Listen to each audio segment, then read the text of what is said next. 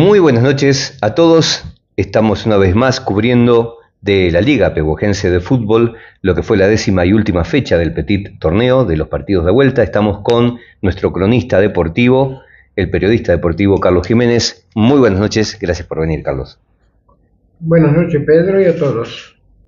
Bueno, si nos querés contar un Dale. poquito entonces qué Bueno. viviste hoy, tuviste que viajar, dónde Eh, se jugó, qué partido. Eh, como vos lo, lo dijiste, la última fecha de, de los partidos de vuelta, para entrar ya en las semifinales, ya tenemos los últimos, los cuatro clasificados, ¿sí? Bueno, vamos a desarrollar el partido que se jugó en Carlos Tejedor, en la cancha de Hermanos García. El local recibía a Deportivo Argentino. Ganó el local 1-0 con gol de Javier Aranda, que tenemos la nota ahí, ¿Fue un gol de penal? Sí, a los 34 minutos del primer tiempo. Sí, sí. Bueno, tenemos el gol y tenemos la entrevista, ¿no? Al que Sí, hizo el gol. tenemos, digamos, el video y del gol y la entrevista del goleador, del número 9. Eh, Deportivo con esperanza, si ganaba, clasificaba y quedaba fuera Huracán. Huracán con el empate clasificaba, ganó, así que le sobró. Eh, muy buen arbitraje de Jorge Luis Suárez, los líneas Juan Jiménez, Moyano y Genovar. Sí. Después, en el viaje tuyo, ningún contratiempo. No, no, Hubo muchos medios cubriendo. Ah, sí, sí, hubo otros medios. Así que bueno, vamos a desarrollar la zona A. ¿Sí? El otro partido, en el 7 de abril, Calaveras 3, Juventud Unida 1, quedando libre en Madrense. ¿sí? Después vamos a la tabla de posiciones. En la zona B, Progreso de JJ Paso 4, Independiente de Demon Escazón 1.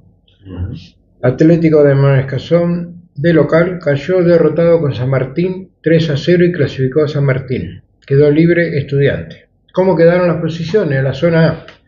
Primero Huracán 16 puntos, segundo Juventud Unida con 15 puntos. Los dos clasificados a semifinales. Quedaron fuera de las semifinales Deportivo con 11, Calaveras 10, Madrense 3 puntos.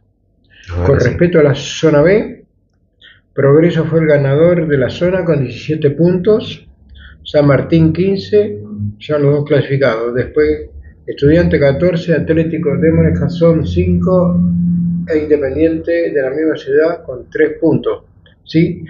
Eh, quedó libre Estudiantes Unidos en, en esta fecha.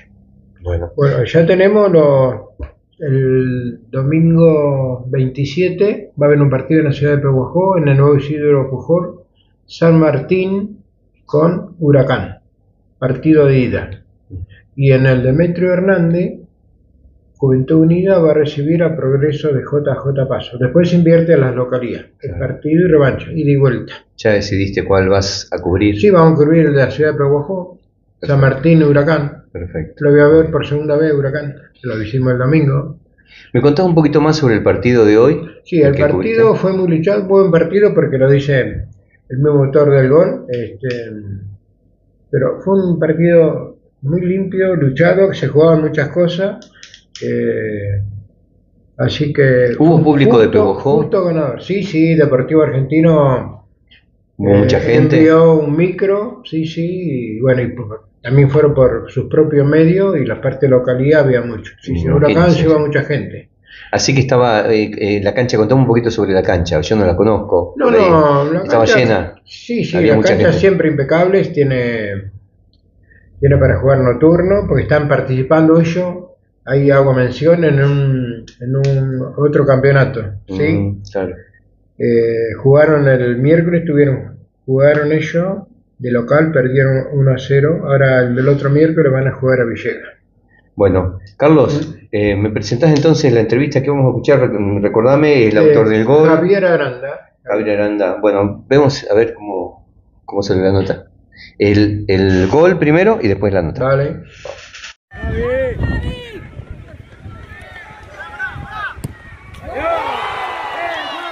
Huracán, donde local le ganó 1-0 a Deportivo Argentino.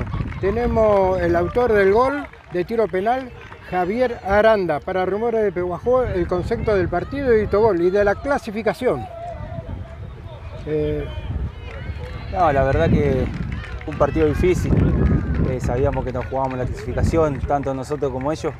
pero la verdad que salió un buen partido y lo planteamos como, como esperábamos. Sí, sacaron un resultado muy bueno. De todos modos, el empate a ustedes le, le favorecía. Con el triunfo Sí, sí, sabíamos que el empate servía, pero nosotros de ningún momento pensamos eso, salimos a ganarlo, creo que se quedó demostrado desde el primer minuto y por suerte lo pudimos concretar. Sí, fue la verdad un verdadero, eh, un justo triunfador fueron y una justa clasificación. ¿sí? Sí, sí, Además la- de este torneo, Javier, están en el otro torneo. sí, estamos peleando los dos torneos, eh, habíamos jugado el miércoles. Sí, el miércoles, Eh, sí, sí. Bueno, ahora de vuelta jugamos el miércoles. En Villegas, ¿no verdad- cierto? Sí, sí, en Villegas, pero la verdad que nosotros estamos metidos acá. Eh, vamos a ir en busca de los dos torneos, pero yo creo que tenemos material con qué. Bueno, Javier, eh, ¿algún saludo especial? Y déjame saludar a mi mamá por el Día de la Madre, hoy un saludo especial para ella, que está en Buenos Aires, a mi hija, a mi novia que me hace el aguante, a mis amigos, al plantel, especialmente al plantel acá, que se merecen todo esto, lo bueno que está pasando, y a la gente y a la comisión. Bueno, gracias Javier por los conceptos, para Rumores Peguajó, que sigan los éxitos y mucha suerte. Dale, muchísimas gracias. Adiós.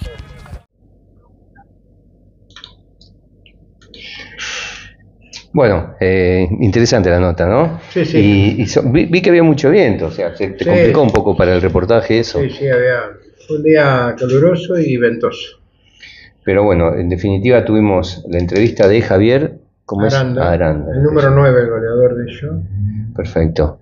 Bueno, eh, entonces ya habiendo dado la, la próxima fecha, también la tabla de posiciones, ¿qué nos quedaría? No, no, eh, vamos a cubrir el domingo eh, San Martín con Huracán, en el nuevo Isidro Pujol, ¿sí?